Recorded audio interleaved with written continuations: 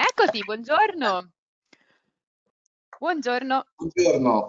Buongiorno. Gerardo, perché non siamo andati a mangiare la pizza ieri sera? Tutti, tutti i giorni, tutte le volte che abbiamo fatto un po' di day mangiamo sempre la pizza.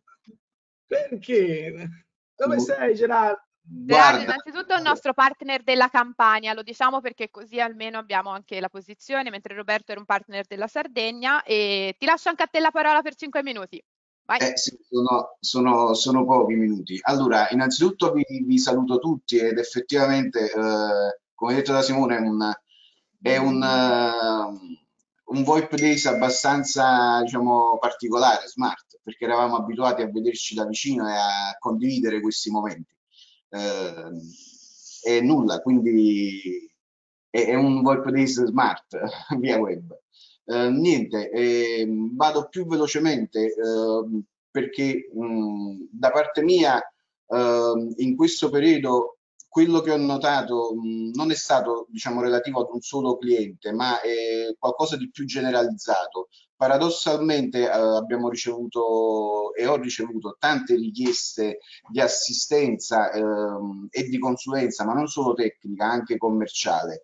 Questo per diciamo, aiutare i clienti a lavorare eh, da remoto, eh, perché molto spesso sia i clienti finali che gli installatori eh, in questo periodo di emergenza e presi dal panico e con lo sviluppo dello smart working, ognuno cercava di, di, di chiedere o di affacciarsi a soluzioni di smart working magari eh, anche in maniera autonoma. Uh, come diceva il, mh, mm, diciamo il partner precedente, eh, sicuramente c'erano dei clienti che erano parzialmente preparati ad affrontare o già diciamo, attrezzati ad affrontare questo perché magari già avevano delle connettività um, evolute in fibra e delle piattaforme PBX uh, che potevano comunque uh, essere implementate.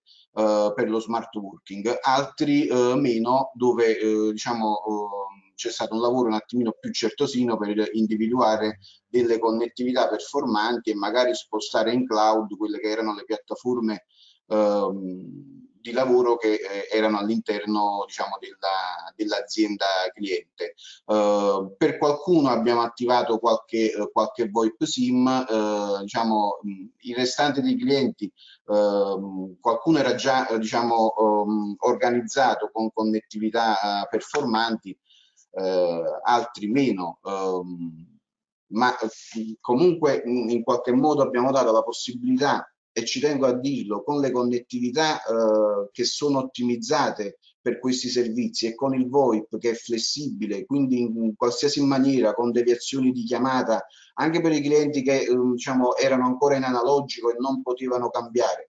Comunque con le soluzioni VoIP Voice e soluzioni uh, PBX uh, che utilizziamo, nel mio caso 3CX, abbiamo dato la possibilità a tutti i clienti di lavorare da remoto, di fare web meeting, quindi conferenze, didattica, addirittura ad una scuola di danza abbiamo dato la possibilità di fare corsi di danza uh, diciamo online e di rispondere al telefono eh, anche da remoto, quindi da casa con l'app sul cellulare o con eh, diciamo, la parte web RTC.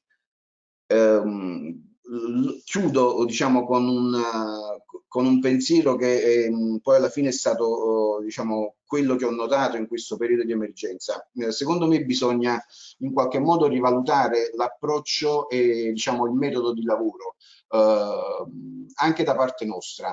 Uh, educando i clienti a lavorare di più uh, in modalità smart, uh, ma anche stando vicino al cliente per consigliargli soluzioni che siano efficaci Uh, a marzo, prima della fine di marzo, un mio cliente mi ha chiamato dicendo che chiudeva e non pagava più le fatture.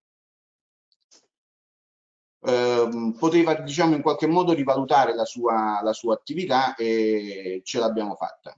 Eh, era un cliente diciamo che produce abbigliamento, uh, quindi ehm, ho cercato di eh, in qualche modo di, eh, di, fare un accordo per adeguare quelli che erano i canoni, ma non solo della fonia, anche di altri servizi ma eh, con idee, voglio dire, da entrambe le parti, io ho detto pure, magari rivaluta di continuare a lavorare magari cucendo mascherine, perché tu, voglio dire, hai le cucitrici, certo. fai questo di, di mestiere. Perché chiudi? Alcuni clienti ci hanno chiamato spaventati dicendo uh, dobbiamo chiudere, un periodo di resistenza, dobbiamo abbattere tutti i canoni e quant'altro e a volte bruscamente io ho detto ma devi chiudere l'attività o pensi di andare avanti? perché purtroppo in questo periodo più che altro c'è anche un, un problema psicologico eh, di diciamo, eh, tutti i clienti, tutte le attività sono danneggiate, quindi eh, diciamo, gli imprenditori hanno anche un problema di questo tipo, diciamo, psicologico, eh, pensando che le cose vadano male, che non si riesca più a recuperare. Quindi bisogna essere più ottimisti e dare una mano ai clienti, stando vicini, ripeto, sia a anche livello... essere incisivi magari sul fatto per poter supportare e ascoltare in questo momento di... Esattamente, diciamo il nostro compito è, sì. è questo, gli strumenti ce l'abbiamo certo. e, e quindi penso Dobbiamo che... farcene anche un po' carico no? di trasmettere quella che è tutta la parte di, di, cultura digitale. Il nostro, Grazie il Gerardo, nostro... scusami ti devo bloccare. Grazie intanto, ci sentiamo più tardi.